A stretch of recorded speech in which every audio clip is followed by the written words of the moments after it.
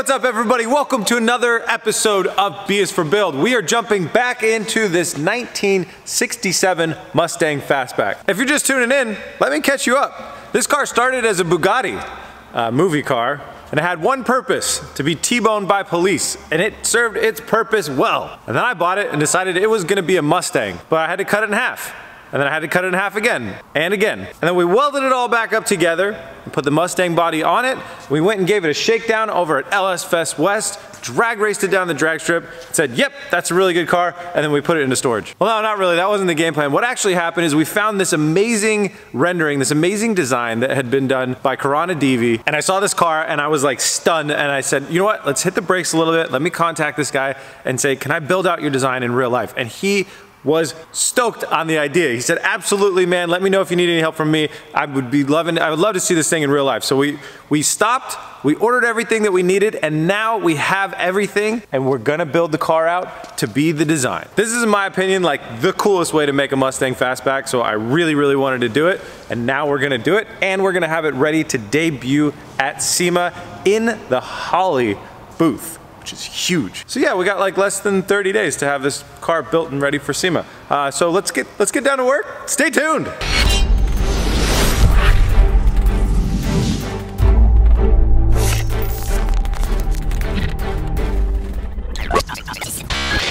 Before we get down to it, I want to take a second out to thank our sponsor. Today's episode is sponsored by Raid Shadow Legends. Raid is the first game to bring a true console level experience to your mobile phone. And Raid has just released the Ultimate Death Knight. It's a super powered legendary version of everybody's favorite champion, Death Knight. He'll help you to progress through the dungeons and the Doom Tower, Clan, or Hydra bosses. And we have a few words from Death Knight about this. Raid is giving you Ultimate Death Knight, who reminder is not me, for free.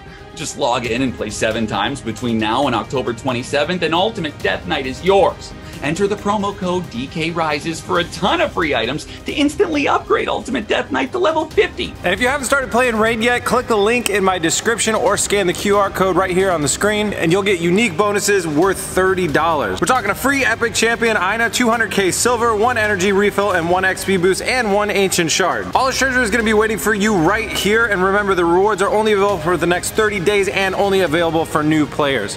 Go click the link, guys. You'll enjoy playing it. Thanks to Raid Shadow Legends for sponsoring this episode. Let's get back to it. So today's been a really, really cool day. I, I woke up this morning 6 a.m. from a text with a text from Holley saying we've chose your vehicle to be in our booth, but we're very concerned about you getting it done and looking like the rendering in time. And I said, I promise you on my life, we will have this build looking perfect and ready for SEMA. And they said, all right, it's gonna be in our booth. Make it look good. So I feel like we got handed like the biggest challenge and it's against a really tight deadline but I also I know we can do it. We have a really skilled team. We have a really great vision. We have a good design and uh, we can make it happen. So let's jump into like what needs to make that happen. Oscar is really excited to get started slash nervous about the deadline I could tell. It's a very very tight deadline. We don't have room for um, anything to go wrong. So he wants to uh, start working first on getting the doors because uh, it is the best way to build a car when you're doing a lot of custom stuff is you get the door set right with the quarter panel, then it tells you how you're gonna set your fender and everything like that. So new doors, go ahead, fire away. Let's get some new doors with the fastback glass in them, rocking and rolling.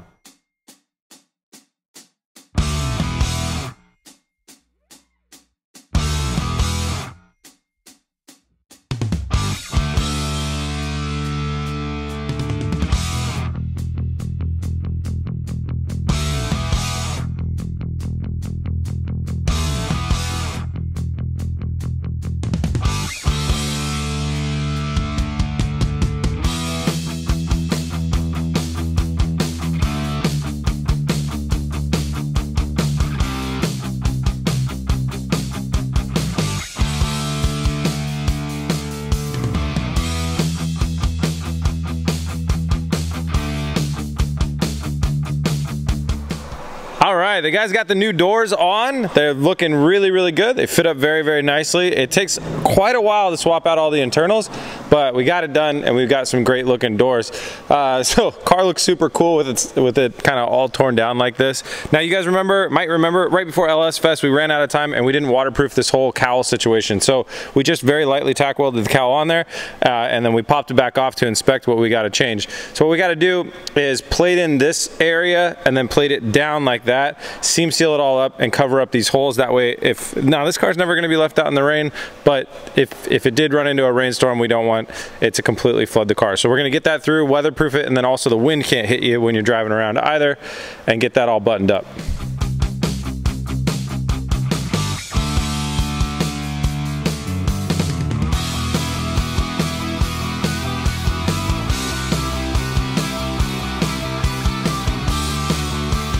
That's a good looking under cowl area guys did a great job. So now we're gonna go ahead and seam seal everywhere, seam seal it all up closed, and then uh, it will get a coat of paint.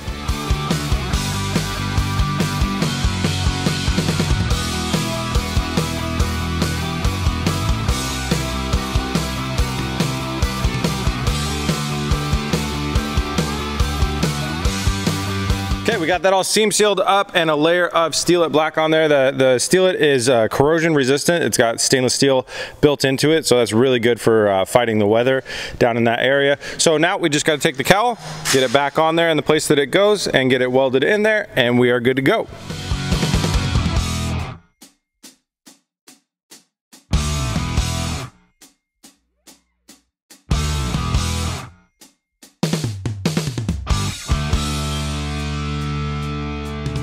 Guys, we got the cowl back on there and that's all good. So now we're gonna go ahead and set the front fenders and we ran into a, a bit of an interesting issue here. So these are reproduction fenders. I don't know if they're from Dynacorn or not. They might be, but wherever they're from, they don't fit well like whatsoever.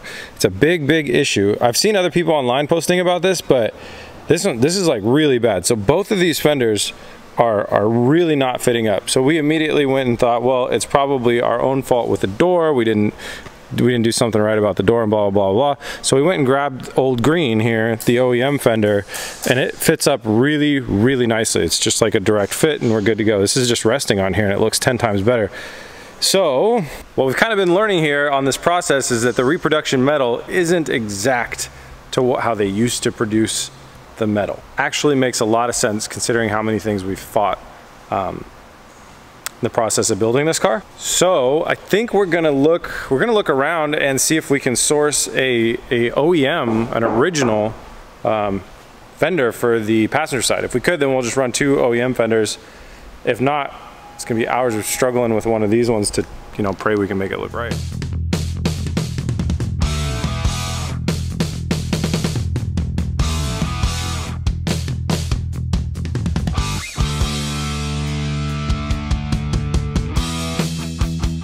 Oscar got the green fender fully bolted down and everything. It's fitting really, really good. We got some minor, minor adjustments we need to make, but we're definitely gonna go with this fender, and I think we wanna go with OEM steel. We called around in our area, and so far we have not found anything. So if anybody is in the Pacific Northwest area, they can get to the Portland area, uh, either we can go to you or you can come to us that has a 67 or 68 passenger side front fender that's OEM sheet metal, uh, we're interested in buying it. So if anybody watching it is in, you know, hit me up, email me, Chris at B is for Build. We'll get one somewhere. Uh, for now, we're just gonna throw some bolts onto this one that we know doesn't panel gap line up right, but that's okay. We're just gonna keep working with it. So uh, we're gonna get the hood on here and then we're gonna start looking at the headlight buckets. And just with a quick real quick test fit. These look like they're plastic. They're metal. They're actually very heavy. With a real quick test fit, you can see that the headlight bucket down here hits on our bumper. And we're no longer running the 67 OEM bumper, so this bar can be moved. And Oscar's gonna move it. Slight change of plans. Rather than cutting away at that bar quite yet, Oscar wants to try and salvage this fender. So the body lines on this fender are okay. They're just in the wrong spot. They really need to come in, but then once they match up, things seem like they'll match up.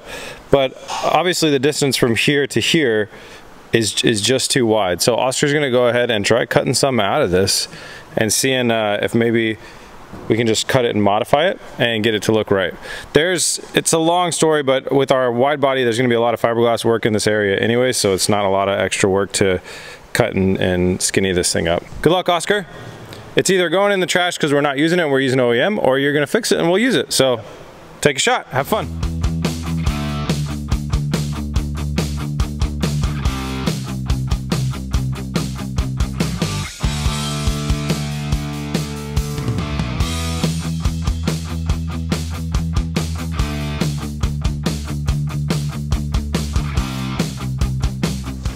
All right, Oscar made a valiant effort, cut it up multiple times, but it just it just really is not fitting the way that we wanted to see it fit up. Too big of a door gap, different gaps, just too many problems. So we're gonna save it just in case, but we're gonna move on expecting to replace it. So now we're going on to the headlight buckets. So part of our design, well first off, the design is made by this guy named Karan Adivi, who is an amazing designer. He's given us permission to uh, build this thing out in real life. So here's the design, what it looks like on the front end really when you account for the wide body and the different stuff and the custom front bumper, it's mostly just the headlight buckets that are the OEM parts. So it's easy enough to do the facelift for us. So what we need to do is make these headlight buckets flow into our hood and our 1967 fenders. So we'll either be modifying the fenders or the headlight bucket, not really sure. And this is the fun part. This is where we get to get really creative and trim and cut and fit and see what it looks like. I'm excited. Let's go for it.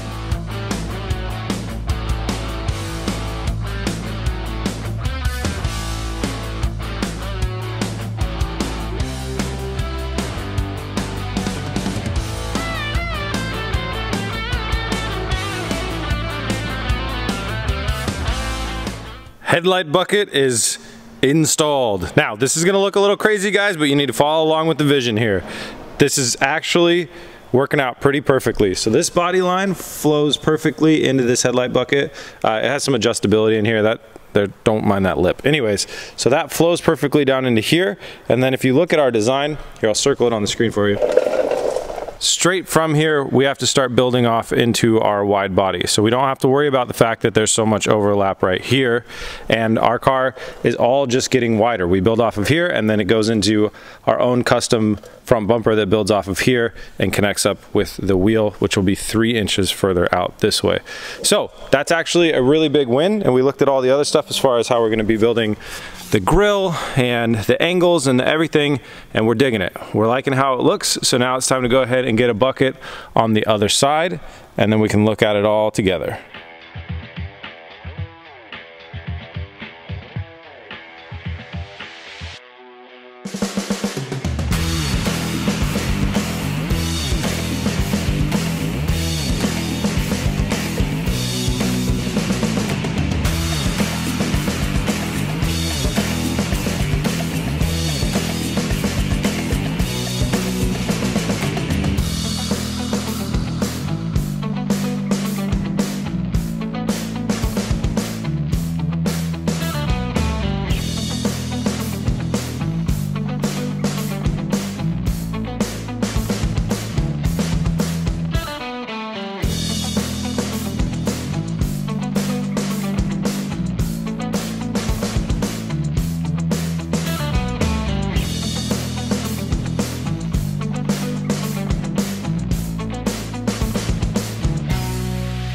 So Oscar uh, modified the hood to have the rear hood poppers. We've been running these in a lot of cars where we run front poppers too. Um, and so they go right there off of these standoffs and got he got the hood you know adjusted straight with the cowl and straight with the other fender so now it's time to full commit to the crazy modification of this thing and try and keep cutting until we get it to look right.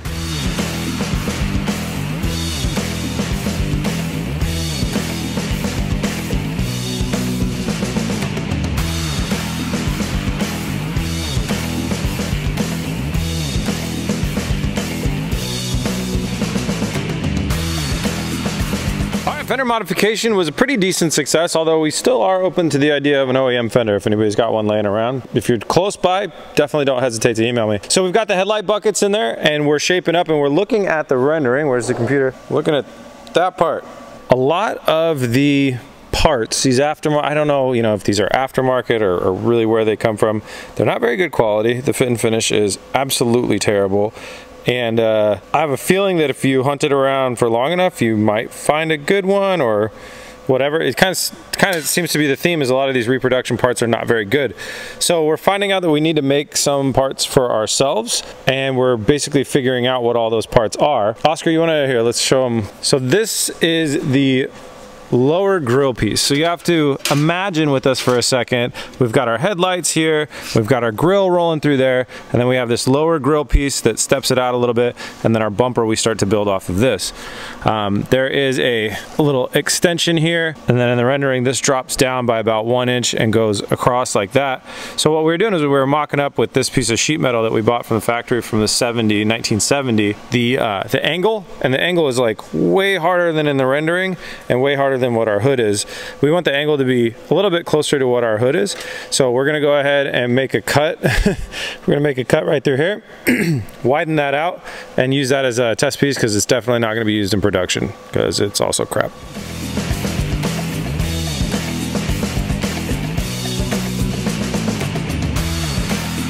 this kind of work. This is like the fun problem solving where the car really comes together and I don't know, it's awesome. By the way, this is how crap this piece was. It's got like some finish on it, like some, some uh, it literally, the finish just came off on painter's tape. It just peeled right off, so garbage. Anyways, we widened that out and we got the peak just how we want it and it's got just the right, so the hood's supposed to overhang just a little bit and we've got just the right amount of overhang. So that's awesome. We've got a strategy for how we're gonna build out the rest of this front end before we get into our front bumper, but that's gonna be a job for tomorrow. Uh, for today, I wanna show you guys how insanely wide we're gonna make this vehicle. So like I said before, these are the wheels that we're gonna use building for mock-up for everything like that. These are the wheels and tires. And then we have new wheels and tires uh, being produced. you know what, to be honest, the tires are actually already produced, but the wheels are being made. So we're going three inches out more in the front and seven inches out more in the rear.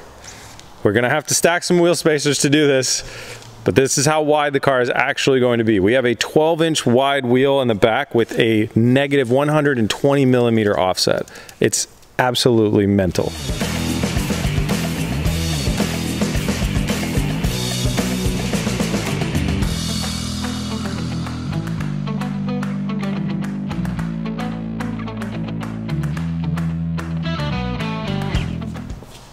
This looks uh, this looks a little crazy even even for us.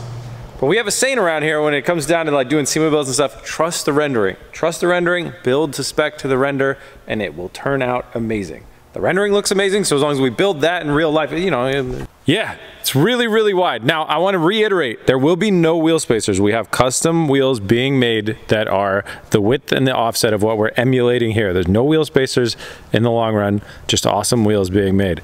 So, uh, as I start to go this way, it gets really obvious of how insanely wide this thing is. It's it's kind of crazy.